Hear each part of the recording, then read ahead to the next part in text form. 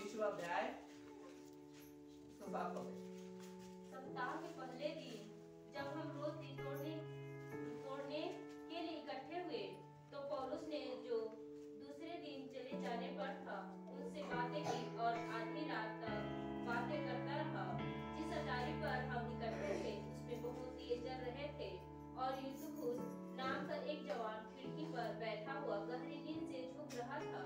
जब पौलुस देर तक बातें करता रहा तीसरी पर से गिर पड़ा और मरा हुआ उठाया गया। देखो। हालेलुया। एक यात्रा करने वाला है दूसरा दिन दूसरे जगह जाने वाला है। लेकिन अब वो अगला दिन दूसरे जगह जाने वाला है। इसके पहले रात को ही सारे लोगों से मुलाकात की और रात को क्या कर रहे हैं लोगों को? सारे लोगों से मुलाकात कर रहे बाकी सारे लोग जग रहे हैं। लेकिन एक जने तीसरे अटारी पर है। तीसरे अटारी पर रह करके क्या कर रहे हो? सो रहा है। हालेलुया और सो रहा है। तो मैं बोलूँ मालूम है, जैसे ही पौलुस प्रचार कर रहा है, वचन का ऐसा सावन पकड़ के उसी से नीचे आ गया। हालेलुया और ये जैसे नीचे आया, उठा नहीं क्या हो गया? मर गया। जैसे में था उसने बोला नीचे गिरा क्या हो गया। और ये क्या कर रहा था उस अटारी में मस्त लेटा लेटा हुआ है देख करके क्या किया? सो रहा है आराम से कितने लोग मालूम है जब मीटिंग चलता है ना तो दीवार को आराम से आप मालूम है लिफ्ट खोल के रखिएगा अपनी जगह। और हालेलुया आराम से आप क्या करना है? दीवार पे चिपका हाँ, चिपक के क्या करना है? बैठना है ताकि कोई हमको दिक्कत ज़िंदगी में भी याद रखना। पीठ दर्द इतना दर्द है कभी जाएगा हालेलुया क्योंकि तेरा दर्द को तो तूने दीवार में टिक करके रखा है ना? आपको हर बार आएगा वहीं चला रहेगा। और वहाँ मालूम है तेरा दर्द यहाँ से निकलता है वो दीवार में जाकर रहता है फिर वापस आ जाता है। वहीं मत जाता लोग ऐसे ही। हैं जगह बुक करके रखेंगे और मालूम है जाना है दीवार में चिपक करके बैठना है अच्छा। हालेलुया हालेलुया और पौलुस प्रार्थना करता है जीवित होने के संजय पास्टर नहीं करता हालेलुया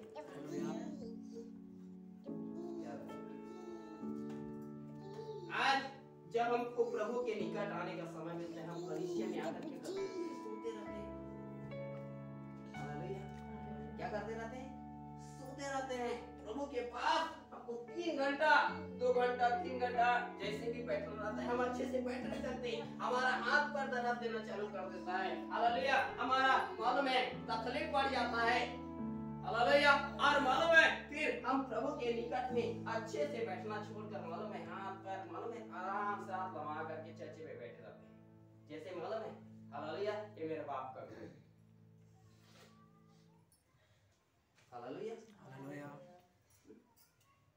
तीन घंटा कम से कम थोड़ा हाथ पैर को तो अच्छा करके रखो। प्रभु के निकट बैठने के लिए वचन में लिखा है सबोपदेश पाँचवें अध्याय का पहले पद से पढ़ लेना जब तू परमेश्वर के भवन में आए कैसे आना? सावधानी के साथ आना। बहुत सारे आप चर्च में जाओगे मालूम है?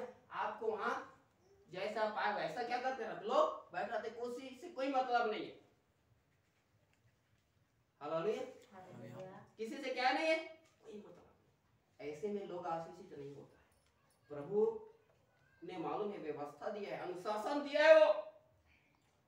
और प्रभु के निकट हमको कैसे रहना है उसके लिए भी उसके वचन में लिखा हुआ है। कैसे आना है कैसे बैठना है कैसे रहना है क्या करना है सब परमेश्वर के वचन में। हालेलुया। हालेलुया। लेकिन हम दो घंटा तीन घंटा हम प्रभु के निकट अच्छे से बैठ नहीं सकते। हालेलुया।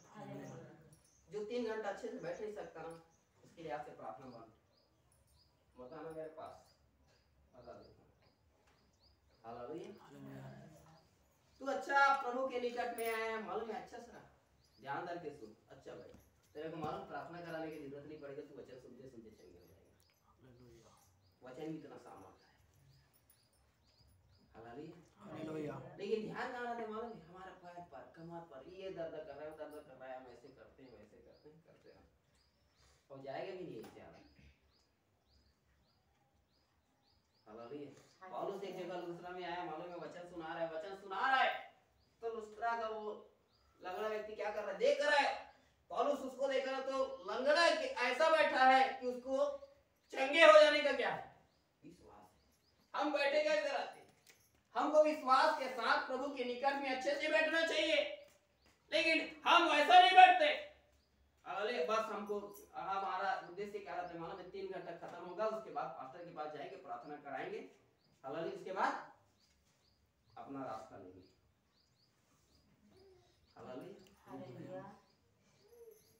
सामर्थ पास्टर में नहीं है याद रखना। सामर्थ किसमें है? प्रभु में। उसके वचन। यदि आप प्रभु का आदर नहीं करते उसके वचन का आदर नहीं करते तो ज़िंदगी में आपका आदर नहीं करेगा। तो ज़िंदगी भर आप ऐसी हालत में रहोगे ऐसे भी बदतर हो जाएगा लेकिन आप चंगाई नहीं प्राप्त कर सकते। आपको प्रभु के निकट हालेलुया। इसलिए जब हम परमेश्वर के निकट आते यशाया को जब परमेश्वर बुलाया चुन लिया वो सबसे पहला परमेश्वर के निकट आ रहा है। हालेलुया। हम हमारा जब चुनाव हुआ है, प्रभु के कार्यों के लिए जब हम बुलाए गए हैं, हम सबसे पहला किसके निकट आते हैं? हमको अपने परमेश्वर के निकट आना। और परमेश्वर के निकट जैसे पाओ वैसे आने। हमको प्रभु के निकट भय के साथ आना है। उसके भय, भक्ति के साथ प्रभु के पास आना है। जैसे पाएँगे वैसे नहीं। जब हम परमेश्वर के निकट भय के साथ आते हैं, विश्वास के साथ आते हैं तब जा करके प्रभु हमारे लिए क्या करता है? काम करता है। और या बैठ गया प्रभु के पास। जब उसका चुनाव हुआ, परमेश्वर उसको बुलाया, उस यसा क्या के मालूम है प्रभु के निकट में प्रभु के करीब आया प्रभु के पास आया हमारा जब चुनाव है, प्रभु ने हमको चुना है।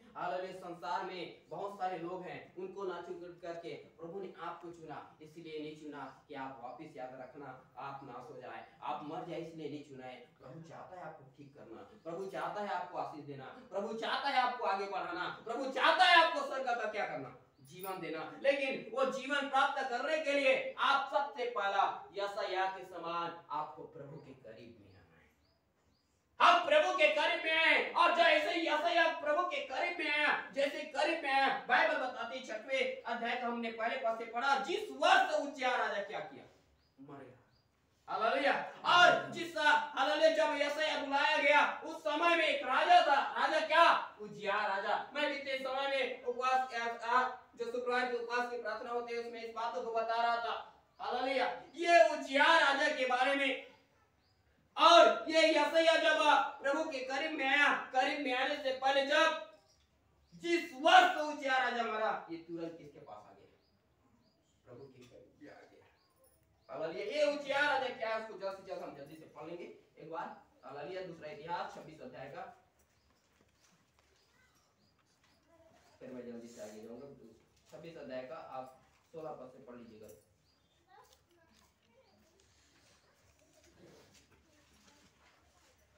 दूसरा इतिहास छब्बीस अध्याय का जल्दी से। परंतु जब वह सामर्थी हो गया तब उसका मन फूल उठा। देखो ये उजिया क्या है मालूम है? ये उजिया जो राजा है हालेलुया जब सामर्थी हो गया इसका मन क्या हो गया? फूल उठा। आज लोग जब परमेश्वर में के निकट में जब थोड़ा सा दान पा जाते हैं वरदान पा जाते हैं अभिषेक पा जाते हैं सामर्थ पा जाते हैं लोग आज घमंड से क्या हो जाता है? भूल जाता है। हाँ ये उजिया वही है हमारे जीवन का एक घमंड है। हालेलुया। और बाइबल बताती है नाश होने से पहले क्या आता है? मनुष्य के मन में घमंड आ जाता है। उजिया राजा जब सामर्थ पाया, इसका मन क्या हो गया? फूल उठा। या मालूम है लूसीफर को हम देखते हैं, लूसीफर जो परमेश्वर ने उसके स्वर्गदूत में प्रधान स्वर्गदूत बनाया तो बोलता है, अरे, मैं तो और परमेश्वर के सिंहासन के हाँ ऊपर में भी अपना सिंहासन बना लूँगा। और प्रभु ने उसको लात में मारा, मालूम है? आज तक भटक रहे हो। उसका घमंड! उसको नाश किया। मालूम है आज हमको प्रभु को जीवित दी हमारे जीवन में कभी भी हमको घमंड नहीं करना ये पहला घमंड किया। दूसरा बात आगे जल्दी पढ़िएगा। और उसने बिगड़कर अपने परमेश्वर यहोवा का विश्वासघात किया। और दूसरा बात से विश्वासघात किया। आज लोग अपने परमेश्वर के प्रति सेवकों के प्रति प्रभु के प्रति आज लोग विश्वास योग्य नहीं है। विश्वासघात कर रहे हैं। यहूदा जिस थाली में खाता है उसी थाली में क्या कर रहा है? परमेश्वर हमको खाने के लिए दे रहे हैं लेकिन हम परमेश्वर को यहाँ कोस रहे हैं। परमेश्वर ही हमको जीवन दिया फिर भी हम परमेश्वर को ही कोस रहे हैं। प्रभु इतना दिन हो गया प्रार्थना कर रहा हूँ इतना दिन हो गया आराधना कर रहा हूँ लेकिन तू ठीक नहीं कर रहा है। तू ठीक नहीं हो रहा है बताऊँगा मैं। ये विषय याद रखना हो सके तो आज नहीं हो सके पाँच संडे भी जा सकता है। हालेलुया। आज लोग छुटकारा भी के लिए मिलता है वो सब पता चल जाए। आज लोग विश्वासघाती बन गया। पहला तो ये उजिया घमंडी बन गया। ये मालूम है उजिया क्या है? उजिया हमारे दूसरा ये विश्वास है यहूदा, जब प्रभु के करीब नहीं रहा है लेकिन प्रभु के लिए ही क्या है? विश्वास घाती है। एक तो पहला, उसके धन के क्षेत्र में विश्वास घाती दूसरा बात, उसको पकड़वा दिया। तीस चांदी के सिक्के में मसीह को बेच डाला। धन के चक्कर में आज लोग मसीह को बेच डालते हैं। धन के चक्कर में आज लोग मसीह की आराधना नहीं धन के आराधना धन के पीछे जाते हैं। अरे ये संस्था उतना पैसा देता है वो संस्था उतना पैसा देता है। इसके पीछे जाओ वो चर्च में जाओ ये चर्च में जाओ। हालेलुया। ऐसे लोग विश्वास करती हैं आज। और बाइबल बताती है ऐसे विश्वासघाती का परिणाम आगे क्या होता है हम देखेंगे। और ये उचिया राजा मन में फूल उठा पहला जब सामर्थ्य हो गया मन में क्या हो गया? फूल गया। दूसरा ये बन गया। और आगे? अर्थात वह धूप की वेदी पर धूप जलाने को यहोवा के मंदिर में घुस गया। और ये एक राजा है लेकिन याजक नहीं था। राजा ज़रूर है लेकिन याजक नहीं है। ये इसका काम है देश को चलाना लेकिन परमेश्वर के मंदिर में घुसकर याजक का काम नहीं कर सकता। हालेलुया। हालेलुया। नहीं आ रहा, मालूम है? ये मंदिर में घुस गया धूप जलाने के लिए। मैं सब कर सकता हूँ, राजा हूँ, तू सब कुछ कर सकता हूँ। नहीं, तू सब कुछ नहीं कर सकता है। आज लोग ऐसे और इसको समझाया जा रहा है याजक लोग आकर समझा रहा है।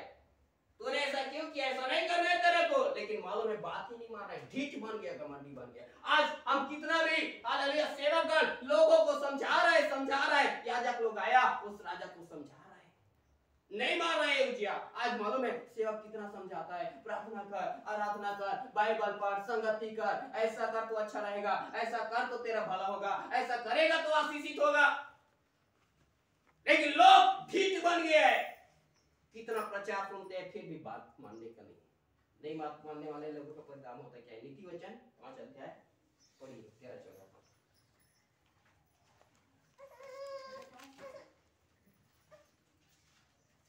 मैंने अपने गुरुओं की बात ना मानी और अपने सिखाने वाले की ओर ध्यान न लगाया। मैं सभा और मंडली के बीच में प्राय सब बुराइयों में जा पड़ा। क्या लिखा है? मैंने अपनी गुरुओं की बात न मानी। अब वह सिखा रहा है बोल रहा है। प्रार्थना करो विश्वास के साथ प्रार्थना करो। दुनिया के भरोसे में मत जियो पास्टर का भी भरोसा मत करो प्रभु का भरोसा करो। लेकिन पास्टर जो बोल रहे हैं उसको मूर्ख समझते हैं आज पास्टर लोगों को लोग। और वचन में लिखा है मैंने अपने गुरुओं की बात ना मानी आज अपने सिखाने वाले की बातों पर क्या ना लगाया? ध्यान न सिखा लगाया रहा है। और मालूम है लोग कैसे सीख रहे हैं? एक कान ढोल और एक कान हालेलुया। चोंगा लगाओ चाहे बात से लगाओ। मालूम है जिसके भेजे में घुस के जाए घुसेगा ही हालेलुया हालेलुया बड़े बड़े मीटिंग में जा रहे आराधना कर रहे उपवास कर रहे, फिर भी कुछ नहीं हो रहा। क्योंकि तू, मालूम है, याजक का काम नहीं कर सकता। और याजक का काम याजक लोग ही करता है। पास्टर का काम पास्टर ही कर सकता है, दूसरा कोई नहीं कर सकता। और पास्टर ने जो बोल दिया, उसको मानना पड़ेगा। और इसीलिए लिखा है मैंने अपने गुरुओं की बात ना मानी और अपने सिखाने वाले की की बातों पर ध्यान न लगाए इसीलिए मैं सभा में उस मंडली में सब प्रकार की बुराइयों में जाकर क्या हो गया? तेरे जीवन का बुराई बीमारी तकलीफ़ इसलिए है क्योंकि तुम लोग अपने अगुओं के प्रति विश्वास इसराइली लोगों को मरने का कारण जो मिस्र देश से निकल आया क्योंकि वो लोग अपने अगुआ के प्रति विश्वास योग्य नहीं था। मूसा के विरुद्ध कुड़कुड़ा रहा है कुड़कुड़ा रहा है। जो उनको मालूम है, हालेलुया, उनके द्वारा देख रहे हैं, वो लाठी बढ़ा रहे सोते फूट रहा है, लाठी बढ़ा रहे लाल समुद्र दो भाग हो रहा है, लाठी बढ़ा रहे कितने भी, मालूम है, दस आगे में आक्रमण आया, वो सारे आक्रमण क्या हो जा रहे दूर हो जा जाए सब कुछ देखने के बावजूद भी, हालेलुया, मूसा को बोल रहा है, हे मूसा, तू हमको यहाँ मारने के लिए लेकर आया हालेलुया। हालेलुया। हम इससे अच्छा ना मिस्र देश में ही रहते तो अच्छा था। अब देख, पीछे फिरौन का सेना है, सामने लाल समुद्र है, और यहाँ मार रहा है हमको आज लोग यही सोचता है। सेवकों के प्रति विश्वास नहीं और खाने पीने के लिए कुड़कुड़ा रहा है। प्रभु बोलता है, तुम लोगों का आगे कोई करान देश से लेकर। कोई करान देश का दूध मधु खाने का मत सोचो। प्रभु आज भी ऐसे लोगों को बोलता है। तुम लोग मेरा आशीष पाने के चक्कर में मत रहो। तुम लोग तो एसाव के समान मुझको बेच डाले हो थोड़े समय के भोजन के चक्कर में। हालेलुया। हालेलुया। बाइबल बताती है आज लोग अपने अगुओं की बातें ना मानकर इसीलिए जाकर के बुराइयों में बीमारी में तकलीफ़ में कष्टों में क्लेश में क्या हो जा रहा है। मूल का समझते हैं जब पास्टर थोड़ा सा बात बोल देता है हालेलुया। हालेलुया।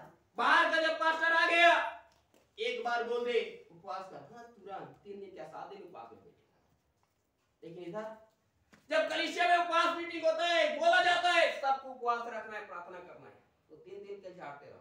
प्रभु ऐसे ही रखेगा। क्योंकि तूने तो अपने अगुआ का आदर नहीं किया। बात माना नहीं। हालेलुया आज लोग की मूर्ख समझते हैं इसीलिए प्रभु कहता है तुम लोग तो अपने सेवकों से ज़्यादा काम कराते हो खुद? हालेलुया। हालेलुया। जो परिश्रम करता है फल का पालन उसे ही मिलता है। जो परिश्रम नहीं करता उसके याद रखना फल खाने का जीवन नहीं है।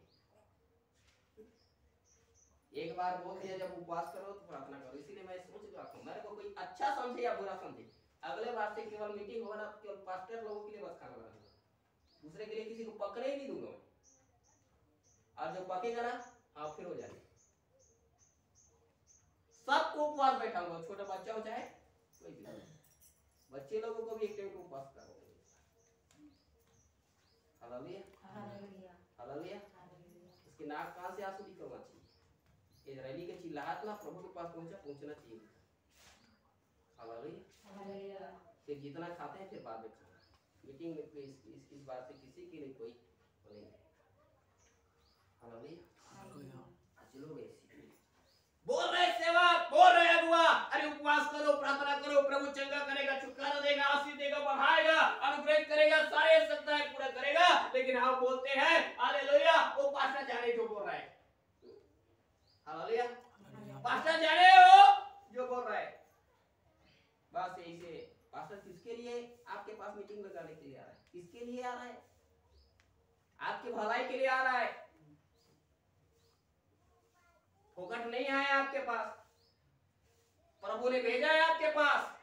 ये तो मालूम है मैं तो अभी भी नहीं रहता। पर घर में जाओगे ना तो बताऊँगा। ये करूँगा मेरा भाई। पर जाग कर लेकर तो हैं।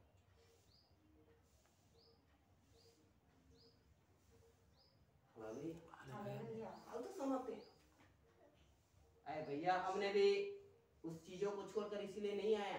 प्रभु बोला अरे तेरा जीवन तो बचा हुआ है लेकिन तू दूसरे को जाकर के बचाना है प्रभु ने आपके लिए भेजा हमको दुनिया को हमने छोड़ छाड़ करके ऐसे लिए, ऐसे ही आ गए लेकिन लोग मानने के लिए तैयार जो लोग याद रखना, ध्यान रख के सुन लेना। जो अपने अगुआ की बात नहीं मानता, यदि उसने बोल दिया, प्रार्थना करो, तू नहीं करता। बोल दिया, आराधना करो, नहीं करता। बोल दिया, उपवास करो, नहीं करता। ज़िंदगी भर अपने हालात से नहीं उठोगे। ये आपके लिए पक्का होगा। वो सभा में और सारे मंडली में सब प्रकार की बुराइयों में जाकर क्या करेगा? बाइबल में लिखा है एक तो धन सब प्रकार की बुराइयों को जड़े तो दूसरा अगुआ की बात में मानना बहुत बड़ा बात है। छोटा सा भी बात बोलते हैं ना उसको हमारा साथ हमारे साथ। जब हम लोग ट्रेनिंग में थे उसके पास कुछ भाई लोग आए जो वहाँ वो आर्गन गिटार वगैरह बजाता है। उन लोगों को दूर के भिलाई से गीत गाने का मौका मिला। शनिवार का दिन था आया पास्टर साहब हमको वहाँ गीत गाने के लिए बुलाए कल तो हमको जाना है। बोलता है कल संडे यहाँ को छोड़ करके तो वो बोलता है, वो लोग, बात तो सुना नहीं, मालूम है सर तो बोलते नहीं जाना है। दूसरा दिन रहेगा तो भेज दूँगा संडे है तो नहीं भेजूँगा। और मालूम है, नहीं माना जा रहा है कार में। वहाँ आराधना स्थल में पहुँचने के लिए पाँच या छह किलोमीटर बचे हुआ था रात के समय में जा रहा है। कार एक पेड़ में टकराया और पाँच या छह जने थे। उसने कहा, दो जने तुरंत मर गया। उसकी जस्ट आराधना नौ बजे शुरू होने वाला है। तो नौ बजे के पहले एक जने और हॉस्पिटल में मर गया दो जने बस बचा जिस दिन बोला नहीं जाना। चला गया राम। हालेलुया तो दो जने आकर माफ़ी मांगा ना वो दो जने को पूरा हज़ारों की भीड़ में बोल दिया मेरे बिना कहे चर्च से कोई बाहर कलम रखेगा उसको दोबारा घुसने नहीं दूँगा। वो चाहे वो कितना आत्मिक रहे कितना पेंटिकॉस्टल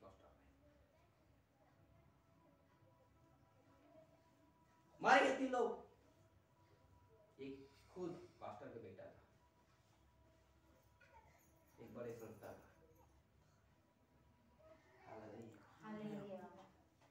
गुरुओं की बात अपने अगुओं की बात ना मानना आज ये लोगों की सबसे बड़ा बुराई बन गया। है। ये उजियार राजा देख रहा है। मुझे काम नहीं करना है फिर भी बोल अरे मैं तो अब समर्थी हो गया मेरे को दान मिल गया अभिषेक मिल गया सामर्थ मिल गया अब मेरे लिए कोई भी काम कठिन नहीं मैं बच जाऊँगा मैं सब काम कर सकता हूँ। हालेलुया तू सब काम कर सकता है दुनिया में बीमार को चंगा कर सकता है दुष्ट आत्मा निकाल सकता है भविष्यवाणी भी कर सकता है दुनिया भर में सुसमाचार भी सुना सकता है लेकिन तू सेवा का काम नहीं कर सकता। क्योंकि सेवा के लिए एक विशेष अभिषेक चाहिए। हालेलुया हालेलुया और नहीं मानते वही लोग जाकर के बुराइयों में क्या करते हैं? ऐसे और ये उचिया हमारे जीवन का क्या मालूम है? घमंड है। हमारे जीवन का विश्वासघाती का जीवन है। ये उजिया क्या है? हमारे जीवन का ढीठपन है जो हम अपने अगुओं की बातों को मानते हैं? और जब ये मर गया लिखा है जब उजिया राजा मरा जिस वर्ष उजिया राजा मरा उसी वर्ष यसाया को परमेश्वर दर्शन दे रहा है। जिस दिन आपके हालेलुया जीवन का घमंड मरेगा जिस दिन आपके विश्वासघाती का जीवन छोड़ देंगे, जिस दिन आप अपने अकलपन से जब बाहर आएँगे, परमेश्वर उस दिन अपना दर्शन आपके जीवन में प्रकट हालेलुया। जब तक हमारे जीवन का घमंड मरेगा नहीं, जब तक, हालेलुया, हमारे जीवन का ढीठपन जाएगा नहीं, जब तक, हालेलुया, हमारे जीवन का विश्वासघाती जो जीवन है, वो हमारे जीवन से मरेगा नहीं, तब तक परमेश्वर अपना दर्शन हमको नहीं देगा। लेकिन जिस वर्ष हालेलुया उजियार राजा मरा उसी वर्ष परमेश्वर यसे आपको दर्शन दिया। मैं आपको बोलूँ, जिस दिन आपके जीवन से इन बुराइयों को मार डालेंगे, उन व्यभिचारी जीवन को, उन अशुद्धता को, उन दुष्कामना को, उस बुरी लालसा को, उस लोभ को जब आप मारेंगे मालूम है, उस दिन परमेश्वर आपको दर्शन ज़रूर देगा। हालेलुया। उस दिन अपने आप को अपने, आ- आपके जीवन में ज़रूर प्रकट करेगा। जिस दिन, हालेलुया, ये, हालेलुया, कितने, ये इस्राएली लोग जो मिस्र देश से निकल के आया, जा रहे हालेलुया, जा रहे हैं, पहुँच गया। यरीहो का भेद ले लिया। लेकिन मालूम है, हालेलुया यरीहो का जब भेद ले लिया, परमेश्वर बोलता है, सामने में यरीहो का जो दीवार है, उसको बोलता है, इन, इस सात दिन क्या करो? सात चक्कर लगाओ और मालूम है देख रहा था, वो परमेश्वर देख रहा था कि लोग मेरे प्रति विश्वास योग्य है कि नहीं। परमेश्वर क्षण भर में उसको क्या कर सकता था? दीवार को गिरा सकता था। उसके लिए कोई काम कठिन नहीं था, लेकिन देख रहा था परमेश्वर। हालेलुया। जैसे वो लगाना चालू किया, अंतिम दिन, सातवें दिन बोलता है, सात और चक्कर लगाओ। और जैसे ही वो लोग परमेश्वर की बातों पर विश्वास योग्य रहा, मालूम है वो दीवार कितना बड़ा दीवार था। और मालूम है क्षण भर में ज़मीन के नीचे केवल सात दिन काफ़ी था उसके लिए। सात दिन ही नहीं, आप यदि एक दिन में अपने आप को ऐसा पवित्र करेंगे, यदि एक दिन के अंदर आप अपने आप के हालेलुया उस घमंड को उठा देंगे, एक दिन के अंदर आप दृढ़पन के जीवन को छोड़ देंगे, एक दिन के अंदर प्रभु में आप विश्वास के बन जाएँगे, उसी दिन परमेश्वर का दर्शन आपको प्रकट होगा। हालेलुया परमेश्वर का दर्शन आपको प्राप्त होगा।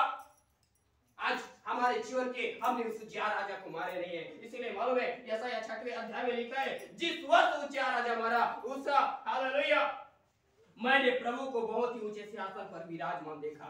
जब आपके और मेरे जीवन का घमंड भरेगा जब आपके और मेरे जीवन का बुराइयाँ मरेगा, हालेलुया, जब हमारे जीवन के वो पाप जब मरेगा, हमारे जीवन के उस आकर्षण को जब हम अपने जीवन से मार डालेंगे, उस दिन परमेश्वर आपके लिए सिंहासन पर विराजमान होगा। आपके सर्वदा के लिए दुख में सुख में कठिन में हालेलुया हर परिस्थिति में परमेश्वर सिंहासन पर आपके लिए खड़ा रहेगा। हालेलुया देख रहे यसाया राजा तो मर गया है लेकिन मेरे लिए मेरा प्रभु खड़ा हुआ है।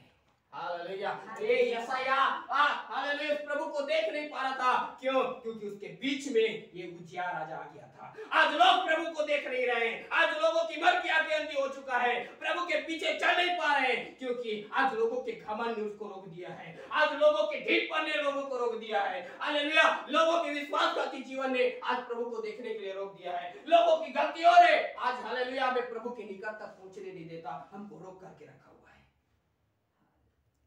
लेकिन मालूम है, ये उजिया राजा जीवित नहीं रहेगा। ये उजिया राजा मरा एक परमेश्वर चाहता है, हमारे जीवन की बुराई आज मर परमेश्वर चाहता है हमारे जीवन की वो गलत बातें आज नष्ट हो जाए। हालेलुया। जब वो नष्ट होगा तब परमेश्वर का दर्शन हमें प्राप्त होगा। क्योंकि वचन में लिखा है? धन्य है जिनके मन शुद्ध है क्योंकि वे लोग परमेश्वर को देखेंगे। जब तक हमारे मन शुद्ध नहीं है जब तक हमारे मन में बुराइयाँ भरा हुआ है जब तक हमारे मन में हालेलुया ये दुनिया की बातें हैं तब तक हम अपने प्रभु को देख नहीं सकते हालेलुया प्रभु का अनुग्रह आपके जीवन में देखना है। प्रभु का छुटकारा देखना है। प्रभु का कार्य अपने जीवन में देखना है। प्यारे भाई और बहन मैं आज आपको कहना चाहूँगा अपने बुराई भरे जीवन से बाहर आ जाइए। परमेश्वर का छुटकारा तेरे लिए प्रकट होगा। परमेश्वर का अनुग्रह तेरे लिए होगा। परमेश्वर का आशीष तेरे लिए आएगा। परमेश्वर का सामर्थ आपके लिए प्रकट होगा। आप हालेलुया साधारण नहीं रहेंगे। आप प्रभु के ये बुलाहट के अनुसार योग्य चाल चलने वाले रहेंगे। हालेलुया। हालेलुया। हालेलुया। लेकिन आज हालेलुया, हम उस जा के पीछे हैं। अपने घमंड में जी रहे हैं आज। आत्मविश्वास घाती में जी रहे हैं। अपने ढीठ कपन में क्या कर रहे हैं? जीवन जी रहे हैं।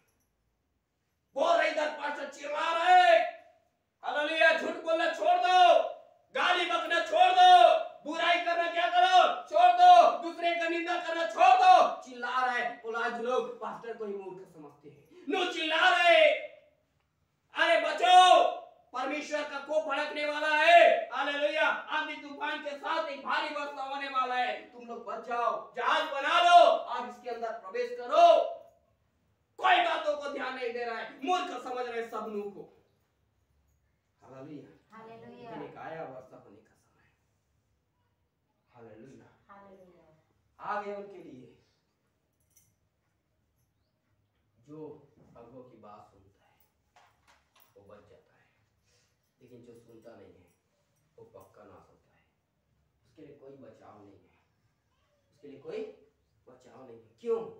क्योंकि एक तो अगुआ के विरोध में जाना, पवित्र आत्मा के विरुद्ध में जाना है। और वचन में साफ़ लिखा है, मनुष्य का सब प्रकार का पाप वे विचार किए, गंदे काम किए, क्या किए, सब क्षमा हो जाएगा। लेकिन पवित्र आत्मा के विरोध क्या नहीं है? क्षमा नहीं। परमेश्वर ने अपना अभिषेक करके अपने लोगों को ठहराया है।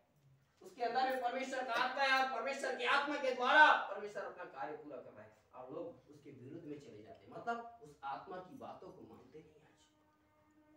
परमेश्वर की आत्मा की अगुवाई में जो सेवक बातें बोल रहा है, उसको मानते नहीं, स्वीकार नहीं करते। और प्रभु कहता है, इस पाप का कोई भी क्षमा नहीं है। इस पाप का कोई भी क्षमा नहीं है। इस पाप का केवल एक ही फल है, वो है मृत्यु। पाप की मजदूरी केवल क्या है मृत्यु है हालेलुया हालेलुया इसीलिए मैं जितने भी जगह जाता हूँ प्रभु कोई भी मेरे जगह भेजे। मैं उस जगह में एक बात ज़रूर बोलता हूँ। हालेलुया कलीसिया को ज़रूर बात बोल के आता हूँ। दूसरे के नहीं अपने अगुआ के अधीन ज़रूर रहो दूसरे की बातों को नहीं हालेलुया आप अपने अगुआ की बातों को क्या करो? ज़रूर मानो। क्योंकि हम मैंने कई बार इस बातों को बोला है परमेश्वर उस भविष्यवक्ता के भविष्यवाणी को क्या कर देता है? तुच्छ ठहरा देता है। पंडिताई के हालेलुया उन पंडित लोगों की पंडिताई को क्या कर देता है? तुच्छ ठहरा देता है। लेकिन परमेश्वर अपने दासों के कहे हुए वचनों को क्या करता है? पूरा करता है। परमेश्वर को एक भविष्यवक्ता का ज़रूरत नहीं है। परमेश्वर को हालेलुया एक बड़े हालेलुया दर्शन देखने वाले का ज़रूरत नहीं है। परमेश्वर को एक ऐसे सेवक का ज़रूरत है जो परमेश्वर की आत्मा की अगुवाई में बोलता है। हालेलुया। हालेलुया। अब जो उसकी बातों को मानता है। वे धन्य होता है, जो उसकी बातों को नहीं मानता है, वो श्रापित हो जाता है। इसलिए आज पश्चाताप कर लेना अपने जीवन में, जितना भी दिन आपने बुराई किया होगा, किसी सेवा के विरुद्ध में बात किया होगा, माफ़ी मांग लेना, पश्चाताप कर लेना। क्योंकि ये श्राप तुझे जीवन भर, ये याद रखना, मृत्यु ही देगा। तुझे जीवन नहीं देगा। जब हम प्रभु के पास अंतिम क्षण में जब हम प्रार्थना की ओर जाएँगे, मालूम है अपने आप में पश्चाताप कर लेना। कहीं प्रभु, मैंने तेरे दास भक्त के विरुद्ध में तो यदि वो उजियार राजा जो समर्पित है उसको नहीं छोड़ा तो प्रभु आपको कहाँ छोड़ेगा? वो किसी को नहीं बख्शता। किसी को नहीं बख्शता लोग याद रखना उसके विरुद्ध में जाता है। अपने अभिषेक साउल राजा जिसका याद रखना के इंतज़ार नहीं किया जिसका परमेश्वर स्वयं अभिषेक किया है राजा होने के लिए यह भी परमेश्वर की बातों को नहीं माना। का इंतज़ार नहीं किया मार डाला गया वो भी। नरक का भागीदारी हो गया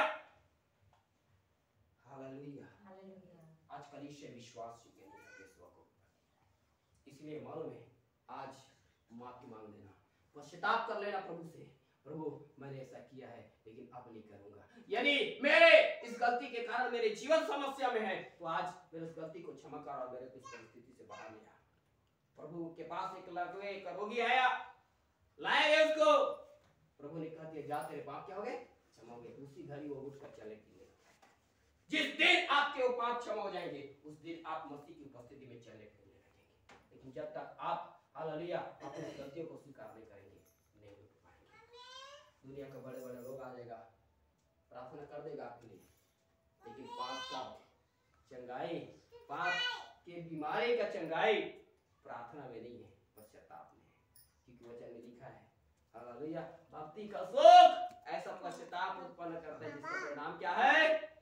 उद्धार छुटकारा लेकिन जब तक पश्चाताप नहीं उद्धार और छुटकारा अगर नहीं हालेलुया। हालेलुया। हालेलुया। आज ऐसा ही है। ये ऐसा जीवन जीने वाला उद्यान मर गया। आज क्या हमारे जीवन के उस उद्यान को हमने मारा है?